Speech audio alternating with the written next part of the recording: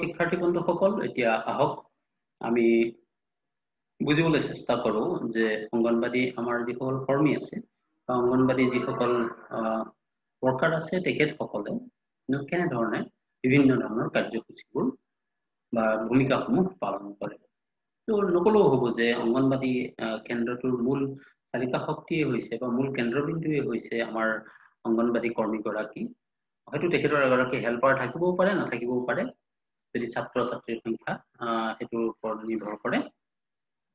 যি কি নহওক স্বাভাৱিকতে অংগনবাদী কেন্দ্ৰৰ একমাত্ৰ কাৰ্যকৰ্তা হিচাপে নিশ্চয় সেই কেন্দ্ৰটোৰ যিখিনি কাম কাজ বা যিখিনি পৰিকল্পনা সেইখিনি তেখেতে কৰিব লাগে। গতিকে অংগনবাদী কেন্দ্ৰৰ বিভিন্ন কাৰ্যকলাপৰ পৰিকল্পনা কৰাটো এইটো এটা গুৰুত্বপূৰ্ণ ভূমিকা আমাৰ অংগনবাদী কৰ্মীসকলে পালন কৰে।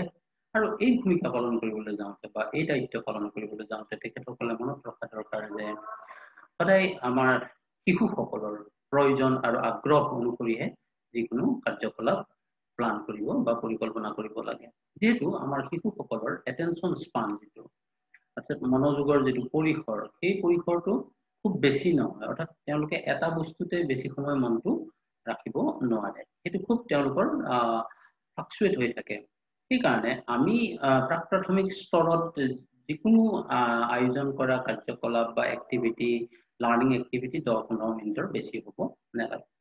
তাৰ উপৰিও যি আমি কাৰ্যকলাপ বা যি কৰ্ম আমি লওঁ হাতত লওঁ তাৰ কাৰণে যাতে পৰ্যাপ্ত পৰিমাণৰ ঠাই অংগনবাদী কেন্দ্ৰত থাকে সেইটোৰ প্ৰতিও নজৰ দিব লাগে পৰিকল্পনাৰ স্তৰতে। তাৰ উপৰিও আমি শিক্ষাৰ্থীৰ কাৰণে বিভিন্ন ধৰণৰ খেলা আয়োজন কৰোঁ ইনডোৰ গেমছ কৰোঁ কেতিয়াবা আউটডোৰ কেতিয়াবা আমি এক্টিভ গেম কৰোঁ কেতিয়াবা পেচিভ গেম কেতিয়াবা আমি গ্ৰুপত খেলিবলৈ দিওঁ কেতিয়াবা আকৌ আমি ল'ৰা ছোৱালীক ফ্ৰী প্লে নিজামতে খেলিবলৈও দিওঁ। গতিকে এটা আমি বেলেঞ্চ ৰখা দৰকাৰ যে এটা সপ্তাহত বা এমাহত আমি কিমান ইনডোৰ গেমছ দিম কিমান আউটডোৰ এক্টিভিটি দিম বা কিমান এক্টিভ অথবা পেচিভ এক্টিভিটি দিম গ্ৰুপ এক্টিভিটি কিমান দিম বা আমি ষ্টুডেণ্টক বা শিশুক ফ্ৰী প্লে দিম। এইখিনি দিবলৈ যাওঁতে আমি এটা কথা চাব লাগিব যাতে এটা শিশুৰ বিকাশৰ সকলো ক্ষেত্ৰ যাতে সামৰি লয়। অৰ্থাৎ শাৰীৰিক বিকাশ মানসিক বিকাশ আৱেগিক বিকাশ এইবোৰ যাতে এই এক্টিভিটিবোৰৰ জৰিয়তে হয় তাৰ প্ৰতি নজৰ দিব লাগিব। এক্টিভিটিবোৰ কেতিয়াও কেৱল এটা বা দুটা দিশৰে বিকাশৰ ওপৰত গুৰুত্ব দিলে নহ'ব। যিমান সম্ভৱ আমি যিবোৰ শিশুৰ কাৰণে কাৰ্যকলাপ ল'ম বা শিশুৰ বিকাশৰ কাৰণে আমি ঠিক কৰিম সেইবোৰ যাতে আমি স্থানীয় এভেইলেবল যিবোৰ সা সঁজুলি আছে সেইবোৰৰ জৰিয়তেই যাতে আমি কৰিব পাৰোঁ আৰু আমি প্ৰতিটো এক্টিভিটি যাতে থিম বেষ্ট হয় তাৰ ওপৰতো আমি গুৰুত্ব দিব লাগে। আৰু আমি যেতিয়া এক্টিভিটিবোৰ পৰিকল্পনা কৰোঁ তেতিয়া আমি সেইবোৰ কেনেকৈ দিম দিয়াৰো বিভিন্ন যিবোৰ মেথড বা পদ্ধতি বা মুড সেইবোৰ আমি তাতো আমি কি কৰিব লাগে ভেৰিয়েশ্যন আনিবলৈ চাব লাগে পৰিকল্পনাৰ স্তৰতে।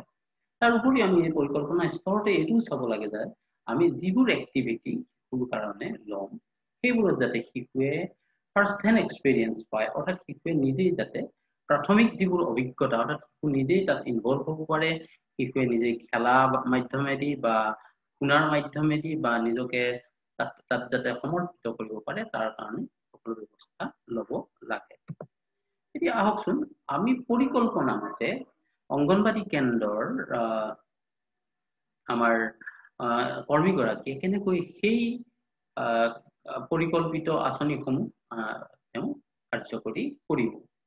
কাৰ্যকৰী কৰাৰ ক্ষেত্ৰত বহু কথা জড়িত হৈ আছে। তথাপিতো আমি যেতিয়া আমি শিশুসকলক বহাম আমি তেওঁলোকক চেমি চাৰ্কল বা অৰ্ধবৃত্তাকাৰে বহাব লাগে যাতে আপোনাৰ লগত প্ৰতিটো শিশুৰ চকুৰ লগত চকুৰ সম্পৰ্ক থাকে।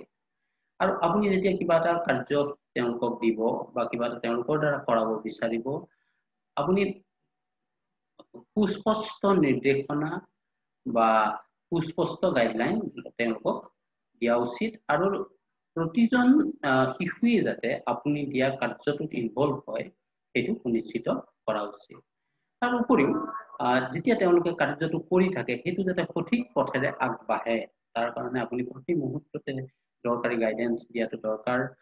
আৰু আপোনাৰ নিজৰ এটা প্ৰিপেৰেশ্যন থকা দৰকাৰ যে আজি এই তিনিটা এক্টিভিটি বা তিনিটা কাৰ্যসূচী বিদ্যালয়ত হওঁতে আপুনি কেনেধৰণৰ আপোনাক মেটেৰিয়েল লাগিব কেনেধৰণে আপুনি ইনভলভ হ'ব লাগিব কোনটো সময়ত আপুনি কোন পজিশ্যনত থাকিব এই গোটেই কথাবোৰ যেতিয়া আমি বিদ্যালয়ত কিবা এটা বা অংগনবাদী কেন্দ্ৰত কিবা এটা কাৰ্যসূচী চলিব আমি সেই তাৰ প্ৰতি নজৰ দিয়া দৰকাৰ তাৰ উপৰিও যিটো পৰিৱেশত ল'ৰা ছোৱালীয়ে খেলা ধূলা কৰিব বা বিভিন্ন কাম কাজ কৰিব সেইটো যাতে খুব তেওঁলোকৰ কাৰণে সুচল হয় নিৰাপদ হয় সেইটোৰ ওপৰত আপুনি নজৰ দিব তাৰ উপৰিও এটা কাম শেষ হোৱাৰ পিছত অন্য এটা কামলৈ যাওঁতে যাতে খুব স্মুথ হয় ট্ৰানজিশ্যনটো খুব হেভেজাৰ্টলি যাতে ইটোৰ পিছত সিটো এক্টিভিটি নহয় ল'ৰা ছোৱালীয়ে যাতে প্ৰতিটো কাম এনজয় কৰে কৰি পৰৱৰ্তী কামটোৰ কাৰণে নিজে আগ্ৰহী হয় বা আগ্ৰহ কৰে।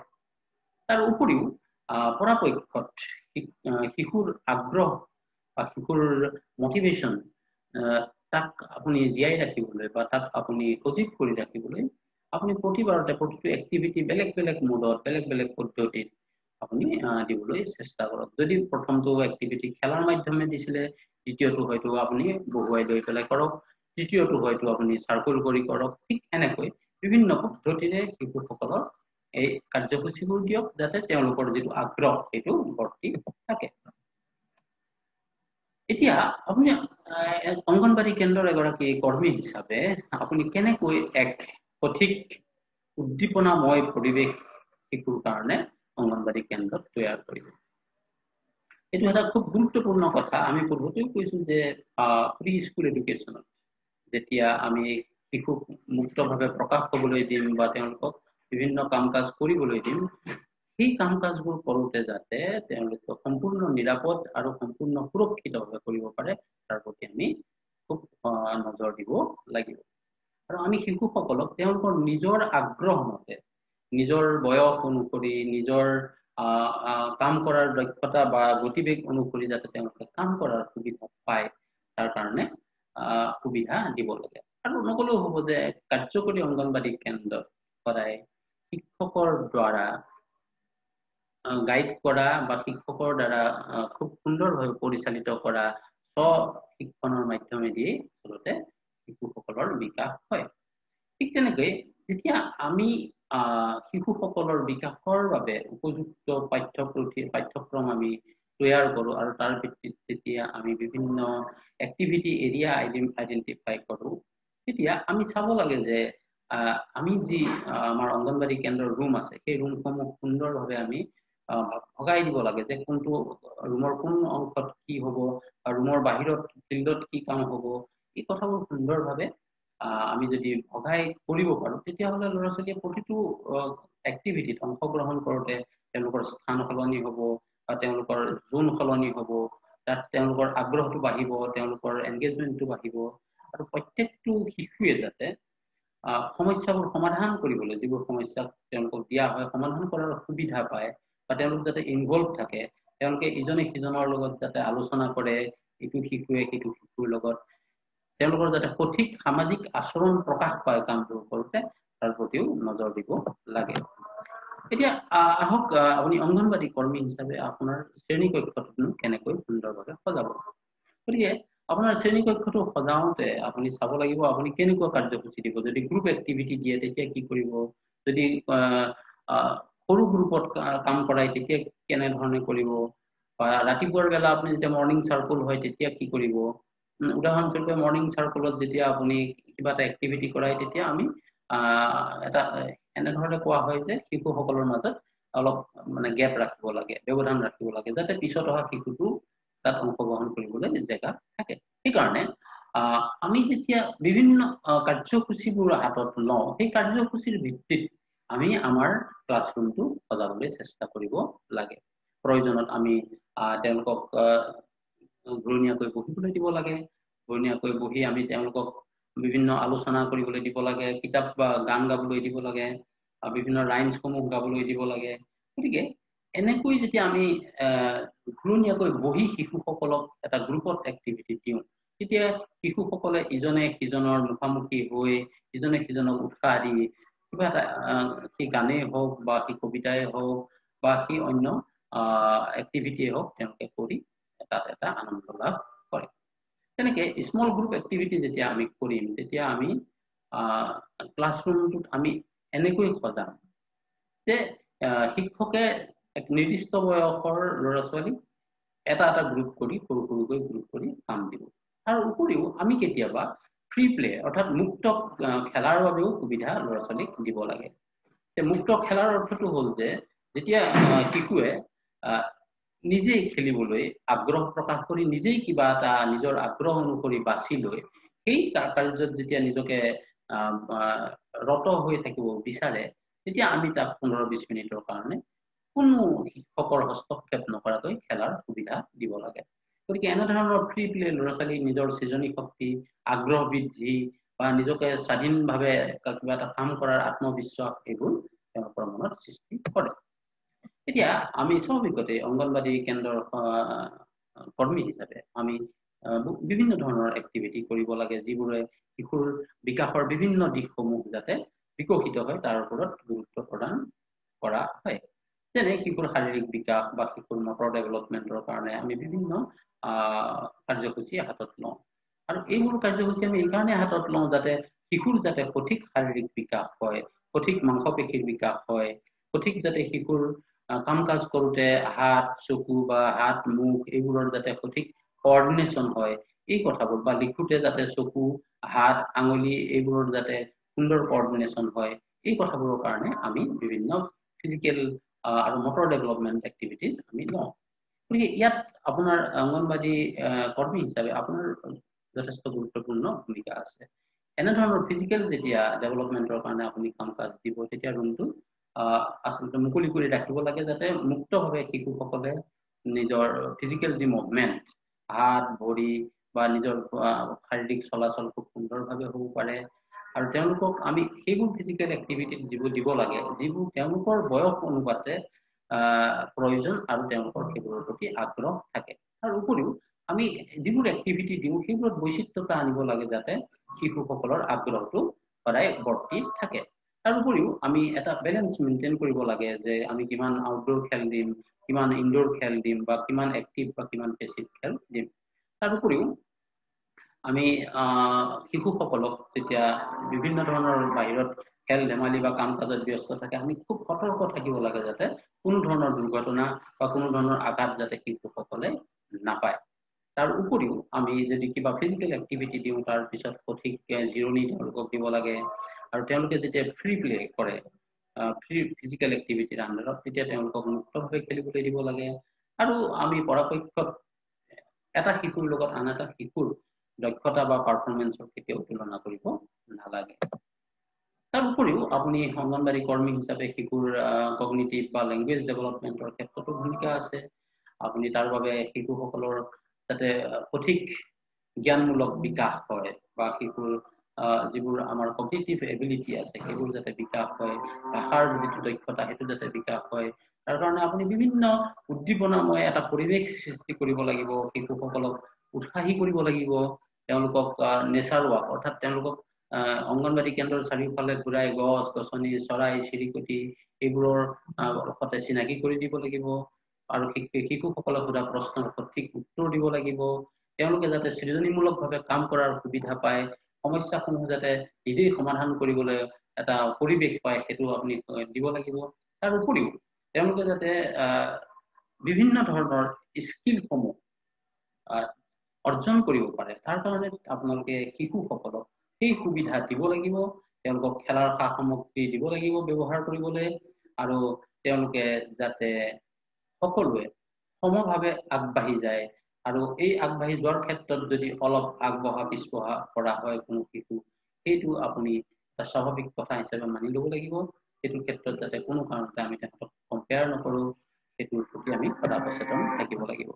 গতিকে লেংগুৱেজ ডেভেলপমেণ্টৰ ক্ষেত্ৰত আমি তেওঁলোকৰ শুনাৰ দক্ষতা বৃদ্ধি কৰিব লাগিব। তেওঁলোকৰ তেওঁলোকৰ শৰীৰ সম্পৰ্কে তেওঁলোকৰ ঘৰৰ সম্পৰ্কে তেওঁলোকৰ চাৰিওকাষৰ পৰিৱেশৰ সম্পৰ্কে যিবোৰ শব্দ আছে সেইবোৰ বৃদ্ধি কৰাৰ ওপৰত গুৰুত্ব দিব লাগিব। তেওঁলোকৰ অৰেল এক্সপ্ৰেছন অৰ্থাৎ বিভিন্ন সাধু কথাৰ মাধ্যমেদি আলোচনাৰ মাধ্যমেদি নাটকীয় পৰিৱেশৰ মাধ্যমেদি খেলাৰ মাধ্যমেদি বা পিকচাৰ ৰিডিঙৰ মাধ্যমেদি তেওঁলোকক চেল্ফ এক্সপ্ৰেছন কৰিবলৈ বা অৰেল এক্সপ্ৰেছনৰ সুবিধা দিব লাগিব। তেওঁলোকক পঢ়া যিটো মানে পঢ়াৰ দক্ষতাটো বৃদ্ধি কৰিবৰ কাৰণে তেওঁলোকক বিভিন্ন অডিটৰী বা sound discrimination visual discrimination audio' visual association এইখিনি আমি দিব লাগিব। তাৰ উপৰিও তেওঁলোকে যাতে লিখাৰো অভ্যাস কৰিব পাৰে। তাৰ কাৰণে যি আমাৰ যি আমাৰ মাচল ডেভেলপমেণ্ট হ'ব লাগে বা তাৰ কাৰণে যি চকু বা আঙুলিৰ যি বা হাতৰ যি কৰ্ডিনেশ্যন থাকিব লাগে বা লেটাৰ পাৰচেপশ্যন এ মানে কোনটো বি মানে কোনটো চি মানে কোনটো ক মানে কোনটো খ মানে কোনটো ইত্যাদি এই পাৰচেপশ্যনবোৰ যাতে সঠিকভাৱে ডেভেলপ হয় তাৰ প্ৰতি আপুনি সচেতন হ'ব লাগিব। সেইকাৰণে শিশুৰ ভাষাৰ বিকাশৰ বাবে শিশুৰ কগনিটিভ বিকাশৰ বাবে আপুনি শিশুক খুব সুন্দৰভাৱে কামৰ মাধ্যমেদি শিকিবলৈ এটা পৰিৱেশ দিব লাগিব আপুনি বিভিন্ন ধৰণৰ অভিজ্ঞতা দিব লাগিব শিশুৰ লগত খুব কথা পাতিব লাগিব আৰু স্বাভাৱিকতে শিশুটো আৰু শান্তভাৱে বহি নাথাকে। গতিকে তেওঁলোকে যি কয় সেয়া শুনিব লাগিব। শিশুক সম্পূৰ্ণ বাক্য কবলৈ যিকোনো কথা কবলৈ যাওঁতে সম্পূৰ্ণ বাক্য কবলৈ যে মই এতিয়া পানী খাম। অৰ্থাৎ এনেধৰণে সম্পূৰ্ণ বাক্য কবলৈ উৎসাহিত কৰিব লাগে। আৰু তেওঁলোকে যাতে খেলোতে স্মল সৰু সৰু গ্ৰুপত খেলে আৰু খেলোতে যাতে ইজনে সিজনৰ লগত কথা পাতে ইজনে সিজনৰ কথা যাতে শুনে বা শিশুৱে কোৱা কথা খুব ধৈৰ্য ধৰি আপুনি শুনিব লাগিব তেওঁলোকে সোধা কথাটোৰ উত্তৰ দিব লাগিব। আৰু ইয়াৰ মাজতে যিবোৰ শিশু খুব কথা বতৰা খুব কম কয় বা মিলিব নিবিচাৰে লগৰ ল'ৰা ছোৱালীৰ লগত তেওঁলোককো আপুনি প্ৰশংসা কৰি বা তেওঁলোককো আপুনি আগবঢ়াই লৈ যাব লাগিব। তাৰ উপৰিও শিশুৱে যেতিয়া ভুলকৈ কিবা এটা কয় ভুলকৈ কোৱাৰ লগে লগে আপুনি সেইটো হস্তক্ষেপ কৰিব নালাগে পাৰিলে তেখেতে ভুলকৈ কোৱাৰ পিছত তেওঁ শুদ্ধকৈ যাতে ক'ব পাৰে তাৰ কাৰণে তেওঁ পুনৰাবৃত্তি ব্যৱস্থা কৰিব লাগে। ঠিক তেনেকৈ শিশুৰ সৃষ্টিশীলতা বা বিজ্ঞানৰ প্ৰতি এটা এক্সপ'জাৰ দিবৰ কাৰণে আপুনি শিশুসকলৰ মাজত বিভিন্ন ধৰণেৰে উৎসাহী কৰিব লাগে যাতে তেওঁলোকে আগ্ৰহী হয়। আপোনাৰ অংগনবাদী কেন্দ্ৰটো এনেকৈ সজাওক যাতে আপোনাৰ চাৰিওকাষটো এনেকৈ সজাওক গছ গছনি ৰুই বা কেন্দ্ৰটোৰ ভিতৰতো আপুনি বিভিন্ন ধৰণৰ বয় বস্তু ৰাখি এনেদৰে সজাওক বা এনেধৰণৰ ফটো ৰাখক যিবোৰ দেখি ল'ৰা ছোৱালীয়ে বিভিন্ন মনত উৎসুকতাৰ সৃষ্টি হ'ব আপোনাক প্ৰশ্ন সুধিব আৰু এইবোৰৰ জৰিয়তে তেওঁলোকে স্বতন্ত্ৰ চিন্তা তেওঁলোকৰ মাজত হ'ব তেওঁলোকে বিভিন্ন ধৰণৰ কাম কাজ বা সংগঠনাত্মক খেল খেলিবলৈ আগবাঢ়িব বা তেওঁলোকে যি তেওঁলোকৰ যিবোৰ বৈচিত্ৰতা আছে বা তেওঁলোকৰ যি শিকাৰ ক্ষেত্ৰত পাৰ্থক্য আছে সেইখিনিকো আপুনি গ্ৰহণ কৰক আৰু যিসকল দ্ৰুতভাৱে শিকে তেওঁলোকৰ কাৰণেও আপুনি ব্যৱস্থা কৰক যিসকলে মধ্যম বৰ্গৰ তেওঁলোকৰ কাৰণেও ব্যৱস্থা কৰক আৰু যিসকলে শিকাৰ ক্ষেত্ৰত অকণমান লেহেম লেহেমীয়া তেখেতসকলো যাতে আগবাঢ়ি যায় তাৰ কাৰণেও আপুনি ব্যৱস্থা কৰক। আৰু পৰাপক্ষত এনেধৰণৰ সৃষ্টিশীলতাৰ বাবে বা বিজ্ঞানৰ এক্সপ'জাৰ দিবৰ কাৰণে আপুনি তেওঁলোকক নেচাৰ ৱৰ্ক কৰক অৰ্থাৎ আপুনি অংগনবাদী কেন্দ্ৰৰ চাৰিওফালে খোজকাঢ়িবলৈ দিয়ক আপুনি লগত থাকক তেওঁলোকক কথাবোৰ পৰ্যবেক্ষণ কৰিবলৈ দিয়ক তেওঁলোকক বৰ্ণনা কৰিবলৈ দিয়ক নজনা কথাটো জানিবলৈ দিয়ক আৰু তেওঁলোকে সোধা প্ৰশ্নসমূহ সুন্দৰভাৱে উত্তৰ দিয়ক। গতিকে এনেকৈ আমি বিভিন্ন প্ৰকাৰে আমি শিশুসকলক এনেকৈ উৎসাহ দিব লাগিব আৰু এনেধৰণে উৎসাহৰ মাধ্যমেদি শিশুসকলৰ বিভিন্ন ক্ষেত্ৰত বিকাশৰ কথাবোৰ সুনিশ্চিত কৰিব লাগিব। গতিকে এই ভিডিঅ' পাঠটিৰ জৰিয়তে আমি আশা কৰিছো আপোনালোকে নিশ্চয় অংগনবাদী কেন্দ্ৰৰ যি আমাৰ কৰ্মকৰ্তা তেখেতসকলৰ যি ভূমিকা বা দায়িত্ব সেয়া আপোনালোকে বুজাত সুবিধা হৈছে। আৰু নিশ্চয় আপোনালোকে এগৰাকী অংগনবাদী কেন্দ্ৰৰ কৰ্মী হিচাপে বা শিক্ষক হিচাপে নিশ্চয় আপোনাৰ দায়িত্ব আৰু সঠিকভাৱে আৰু অধিক কাৰ্যকৰীভাৱে পালন কৰিবলৈ সক্ষম হ'ব। এই আশাৰে ধন্যবাদ।